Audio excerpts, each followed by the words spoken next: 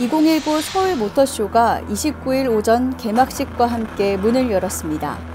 내달 7일까지 경기도 고향 일산 킨텍스에서 열흘간 열리는 올해 모터쇼의 주제는 지속 가능하고 지능화된 이동혁명입니다. 여러분도 잘 아시다시피 최근 자동차 산업은 큰 서울 모터쇼 조직위원회 정만기 조직위원장은 개막식에서 앞으로 서울 모터쇼를 아시아에서 지속 가능한 에너지, connected, 모빌리티에 관한 신기술과 신제품을 발표하는 대표적 전시회로 만들어갈 계획이라고 밝혔습니다. 이어진 개막식은 keynote speech라는 신개념을 도입해 축사, 공연, 테이프 커팅 등 행사성 이벤트는 축소하고 참가 업체의 우수 기술과 신제품을 소개하는 방식으로 펼쳐졌습니다. keynote speech는 현대자동차, SK텔레콤, 자트코 코리아 엔지니어링 총 3개의 업체가 자동차, connectivity, mild 하이브리드 핵심 부품인 변속기의 미래를 주제로 발표를 진행했습니다.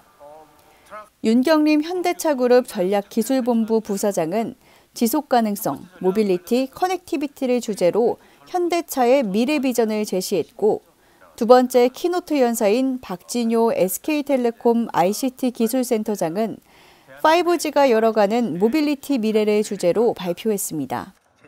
마지막 연사로 나선 다나카 히로야스 자트코 코리아 대표이사는 이번 서울 모터쇼에서 공개되는 mild 하이브리드 차량용 변속기를 공개했습니다. 벤츠, BMW, 현대기아차, 르노 삼성, 쉐보레, 쌍용 자동차 등 완성차 업체의 화두 또한 미래 기술인 친환경차, 자율주행, 연결성이 중심이었습니다.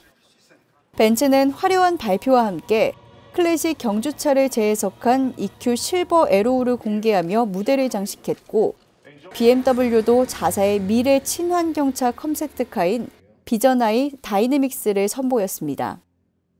현대차는 6월과 7월 출시될 소나타 하이브리드와 터보 모델을 공개했고 기아차도 제네바 모터쇼에서 공개됐던 Imagine by 기아와 모하비 컨셉트카를 내놨습니다. 쌍용차는 코란도를 통해 전동화, 자율주행, connectivity를 담은 미래를 소개했습니다. 이번 모터쇼는 단순한 전시가 아니라 관람객들이 직접 체험해 볼 수 있는 공간도 많이 마련됐습니다. 제2 전시장에는 초소형 전기차를 포함한 다양한 전기차를 직접 타볼 수 있는 공간도 준비되어 있습니다. 이번 2019년 서울 모터쇼에서는 친환경을 필두로 한 많은 차들을 선보였는데요. 옆에 보시는 것처럼 트위지와 마스터 같은 초소형 전기차도 있었습니다. 여러분도 오셔서 많은 구경하시면 좋을 것 같습니다. 현장에서 교통 뉴스 공희연입니다.